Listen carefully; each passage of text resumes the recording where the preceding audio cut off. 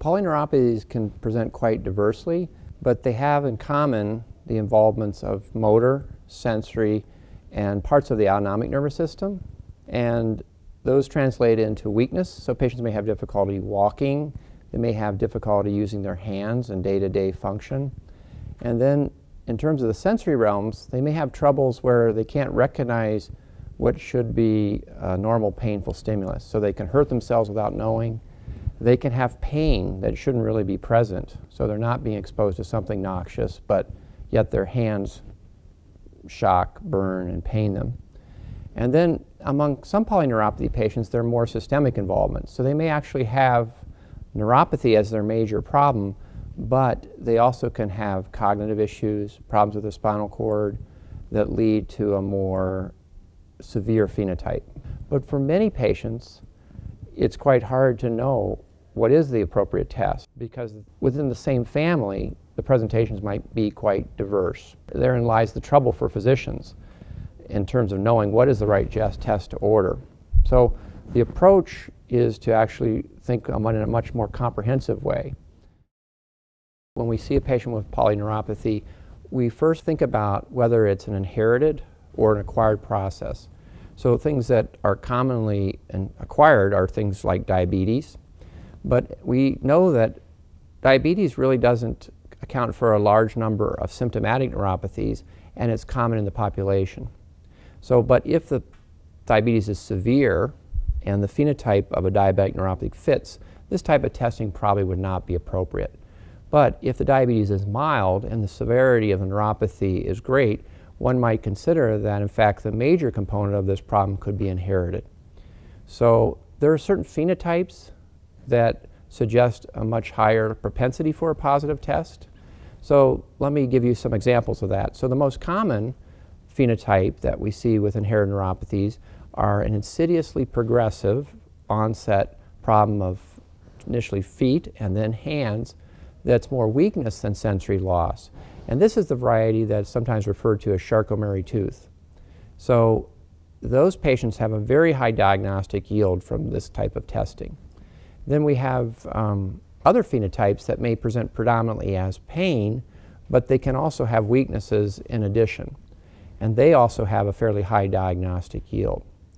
Patients who present with only weakness are most commonly inherited, but the diagnostic yield in genetic testing is fairly low only because we don't know many of the genes that are responsible for that.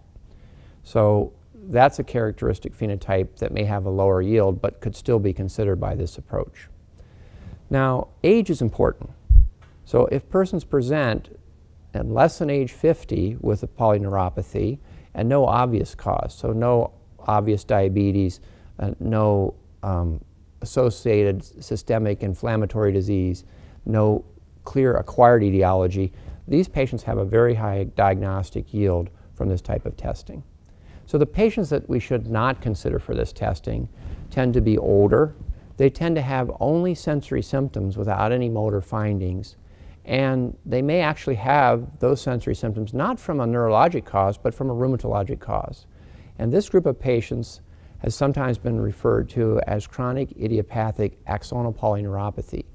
And although these persons may have their disorder run in the family, it tends to be polygenic. When clinicians decide among the six offered evaluations for peripheral neuropathy which is best, in general, our experience is that misclassification clinically often leads to a failed diagnostic attempt. So for the majority of our patients, we think the comprehensive evaluation or expanded panel is the best way. Now there are exceptions. Some phenotypes are very true and run true within an individual family. And so for them, we think that ordering a specific targeted approach, for instance, among the sensory predominant neuropathies or among patients who have a spastic paraparesis and neuropathy are still appropriate. So for most of our patients, unless a very discrete phenotype has been established to link with a gene abnormality, we think the expanded panel of neuropathy inherited cause is the best yield. Minimal testing is important. So all patients should undergo some type for blood sugar. So either a hemoglobin A1C or a fasting challenge to look for diabetes because it's common And it's also important, even if it is inherited, as a potential contributor to make things worse. And it's quite treatable. The same way, B12 deficiency can present and look like inherited neuropathies and may make an inherited neuropathy worse. So that type of limiting testing can be ordered, and if unremarkable, one could then reflex to the uh, polyneuropathy inherited evaluation. If you're a young onset person with family history, the diagnostic yield can be as high as 33%.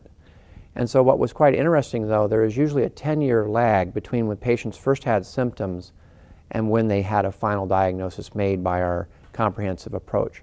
And so in the process, they had seen many different physicians, accrued new deficits, didn't have proper counseling as to how to handle this problem or what were the risks for their family members. So the nice thing about the test is for many of our findings, there's a definitive cause found and they can stop shopping for what is the cause of their problem. And um, for some of these, depending on the category, there are evolving therapies that are both on a research level but also coming at a commercial level as well. If The technology of next generation sequencing is going to revolutionize how we see our patients in the clinics. So specifically, we know that among certain phenotypes, the value of this testing is very high. And so historically, what might have occurred would be that multiple electrophysiologic evaluations would be performed. A large list of blood tests would be accumulated in this patient's record and they might see multiple specialists.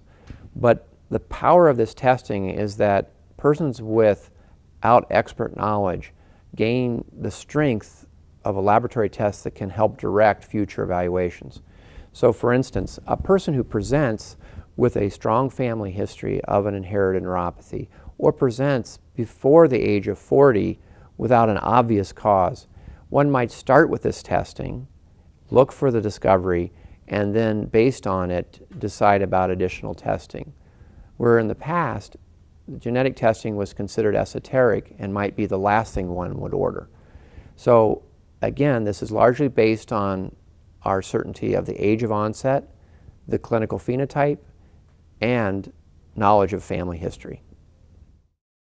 Important in this type of evaluation is an integrated approach with multiple experts. So we need good laboratory scientists that can help us to make a test that meets the guidelines for a, a commercially available offering. But coupled with that is the importance of having people who are knowledgeable about these disorders, knowing what potential services may be available to patients with these disorders. And so that's a link to our laboratory geneticists, but also clinicians uh, who are seeing these patients that can provide further counsel and maybe even referral if the local um, physician is unclear about how to counsel persons with these disorders.